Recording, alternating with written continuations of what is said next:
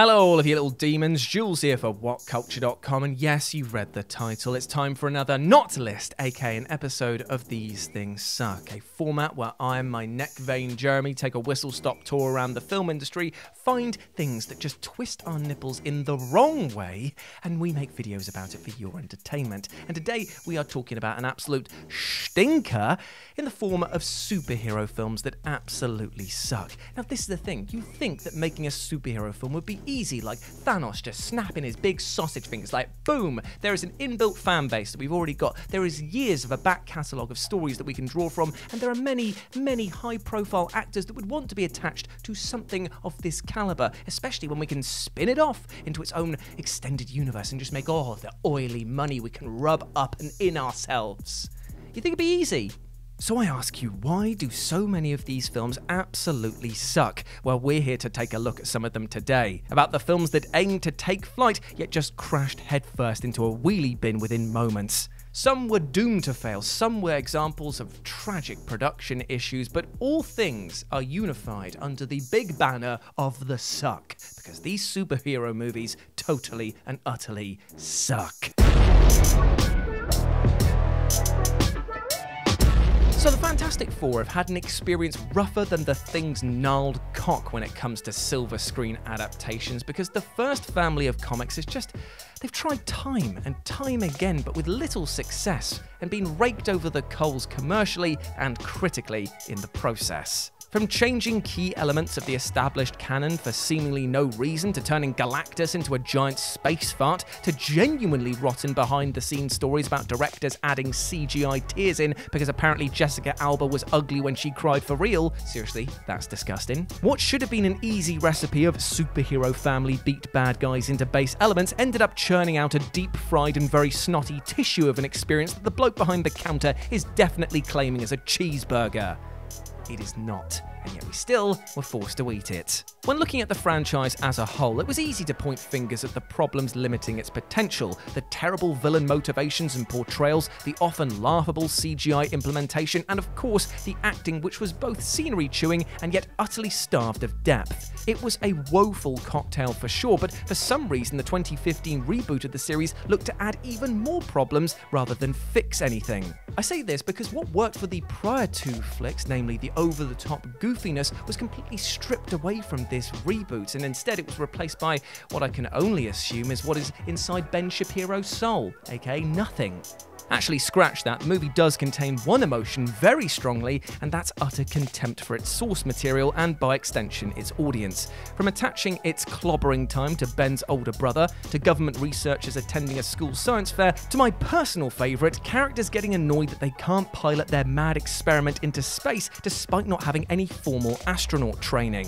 Like, come on, you are literally not qualified to run this project. Stop acting like an ass. Add to this an overtly depressing tone, grim colour edit, and a villain who literally just decides to be evil on a whim to give us a third act, and we have the makings of a project that tried to ghost the tone of the original but lost all of the playful spirit along the way, thus leaving it utterly dead on arrival at the box office.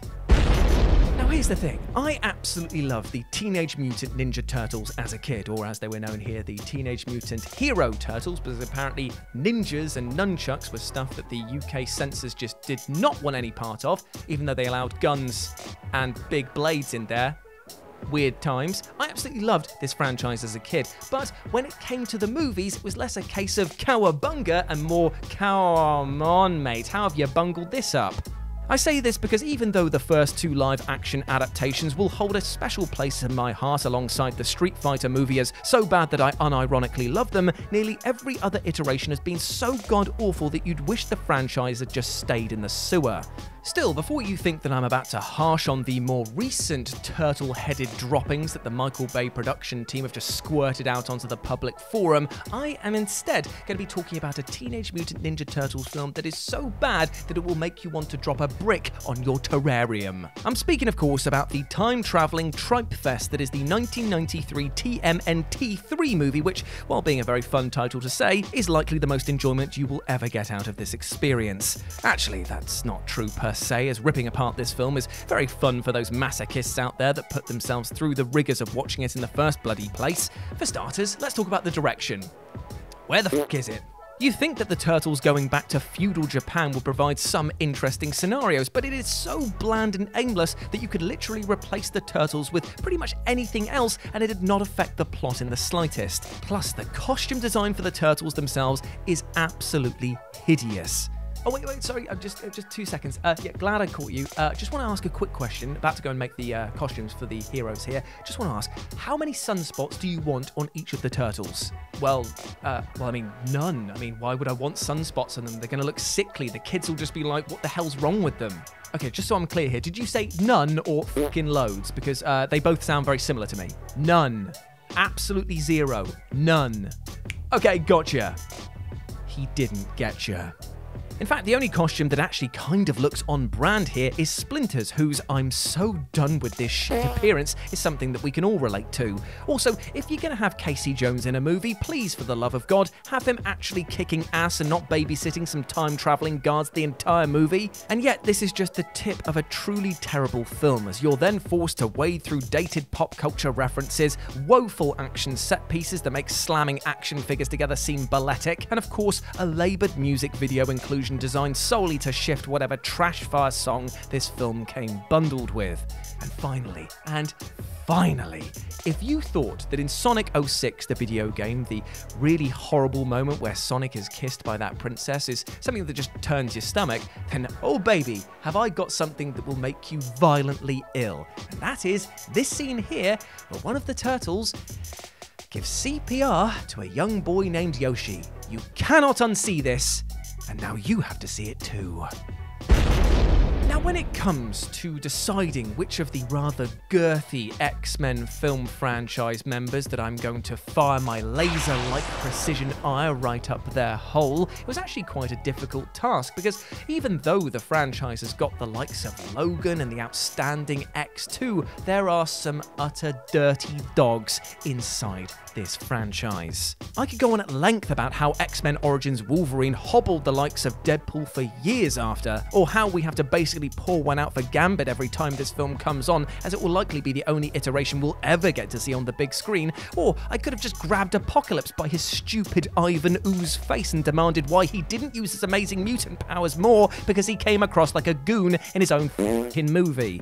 However, today we're going to be looking at the rather sad and pathetic case of X Men Dark Phoenix, which managed to act as both a horrible reimagining of an already botched storyline and as a sour handoff from Fox to Marvel that was the equivalent of giving somebody their toy back but breaking it just before it touches their palm. Which is like Foxes, they're like, oops, sorry, dropped it in a pile of shit. And Marvel's just, they're like, you brought the bag of shit in with you, mate. I saw you bring it in and you just walked over there. It was in the corner of the room. You dragged it over and you just dropped it in there. Why'd you do that? Whoops, Butterfingers. From the jump, there was something absolutely rotten about this project, and when it was announced that extensive reshoots were taking place, the excrement based writing was basically on the wall. Yet people still turned out in their droves to check out Fox's X Men Swan song. It's just a shame that the song in this case was the screeching sound of metal as the entire roller coaster ride came off the bloody tracks. In fact, the movie itself provides a lovely example of how little shits it gives at this point when they have that scene where they fly the X Jet up into space, and everyone has a go Hank for saying, I'm pretty sure I didn't design this to go into space, and yet apparently it just does. It just goes in space now. It just smacks of a big, who the f even cares anymore? How do you take a story that is as complex and iconic as the Dark Phoenix saga and somehow make it utterly boring, linear, to the point of frustration, and add in new elements of the story which lessen the impact of things overall? It's not even like this is new ground either, as the subject was one of the focal points of Last Stand, yet here becomes a fecal point because it was smeared with unnecessary stank. Action scenes were dropped in to pad out an utterly anemic plot, and without going to IMDb, I wouldn't even be able to tell you who the villains of this piece actually were because they were instantly forgettable, and all played to the sound of acting with all the life of a bloody death knell. Now, I don't hate this film as much as Wolverine Origins or Last Stand, but you know what? I am so disappointed in it that somehow that's even worse. Oh, sorry, I've got a phone call here from the uh, very dusty, haven't used this in a while, Darla Dickhead. Hello, Darla Dickhead here. Oh, oh, we're talking about Catwoman now, are we? Oh, fantastic. Thank you for ringing in. Um, yeah, I actually did want to talk to you about this because let me just get this straight. You've got a white hot property in the form of Catwoman, you've got a huge library of her backstories that you could draw from, and you've got the backing of Warner Brothers to the tune of around $100 million. That sounds like the perfect recipe for a decent Catwoman story. So, can I just ask you quickly, how many of these elements from the DC lineage are you actually going to be drawing from? Yeah, I thought that you'd say that. Precisely fucking zero. Are you are you absolutely deluded? Yes, unfortunately, this was indeed the case when it came to 2004's Catwoman, which, while marketing itself as a loose adaptation of the Catwoman character, was actually a pretty apt Swamp Thing film as it was covered in utter dreck. For a start, Selina Kyle is out, and in her place we get. Patience Phillips, who is a timid and meek character who then becomes a sexy dominatrix esque crime fighter thanks to some magic cats. I wish I was fucking kidding. This film is complete and utter garbage, as alongside some rubbery CGI and a plot that makes little to no sense at times, commits the worst sin possible for a film centered around female empowerment, in that it over sexualizes Catwoman, lingers on shots of her body, focuses on an evil makeup brand, and shows women of power actively fighting against one another, all the while offering no significant character development whatsoever. And all of this combines to provide a vapid, cynical take on what an executive would think about hot hot button topics. It is sex appeal covered in sour milk. Thanks. I hate it. Right, in the final straights now. We can do this, Jeremy. We can make it. But unfortunately, ahead of us is our biggest trial ever. Because we're about to talk about the son of the mask. Now, I know some of you might not consider the Mask to be a superhero, but you do have to admit that he most definitely ticks all the right boxes. Powers beyond that of a normal person? Check. Ridiculous villains hamming it up to charcuterie levels? Check. A loud ass suit that would immediately draw enough attention for anyone to be able to spot them retreating back to their lairs and instantly find out where they are? Oh, you best believe that's a check. Yet, you know what ticks all the wrong boxes when it comes to things like writing, character development, CGI implementation, and common human decency, the son of the fucking Mask film, which, if we're accepting is itself a superhero film of sorts, is easily one of the worst things I've ever seen. So, in order to make sure that you are in the right mindset for this film, what I want you to do is take all of the beloved characters from the original, all of the funny moments, all of the writing perfection, Sweep that into a fucking bin, right? So you've got nothing on the table so far. Then what I want you to do is grab Morph, you know, friendly little Morph here that I'm hoping that Joe has just animated onto the palm of my hand. Pop him into a microwave for a bit, boil him until he's covered in blisters, because that is now your new standard of CGI, and then just wrap it all up in absolute cynicism, nastiness, absolutely puerile comedy that nobody finds funny because it is actually very cruel and then take a typewriter and drop it on the back of your head. Now you're ready to see this film. I cannot stress how utterly disgusting the animation in this film is, both being so nightmarishly stretchy and burrowing deep into the uncanny valley at the same time. And it's made all the worse when each and every CGI abomination is forced into the viewer's faces.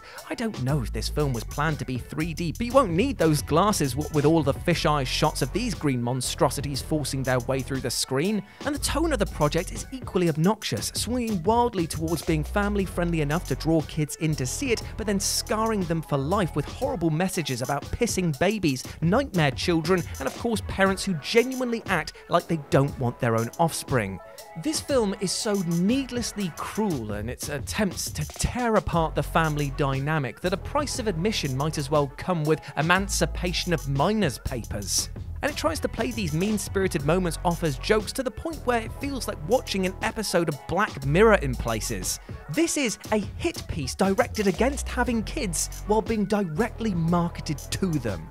Harsh. And there we go, my friends. Those were these superhero films suck, and I hope that you enjoyed it because I've shortened my lifespan by a good 10 years doing this. So I hope that you appreciate it. Let me know what you thought about it down in the comment section below, and also suggestions for next time's episode whenever I get around to making it because I love to read all your feedback, and it's a good laugh from here on out, my friends. But before I go, I just want to say one thing. Not only can you follow me over on Twitter at RetroJ with a zero, but I also want to make sure sure that you're taking care of yourself both mentally and physically because you deserve all of the best things in life, my friend. I know when I do these videos, I ham up the hyperbole of being angry, but I don't carry that forward into my real life, and I want you to try and do the same. Let go of anger if you have the capacity to do so, and speak to people about your problems because trust me, sharing these problems dissipates that anger, resentment, frustrations, whatever it is that you're being going through at this point in time makes things a lot easier going forward. And that's all I want for you, my friends, to go out there and live a healthy and happy life. Big love to you, my friend, all right? As always, I've been Jules. You have been awesome. Never forget that. I'll speak to you soon. Bye.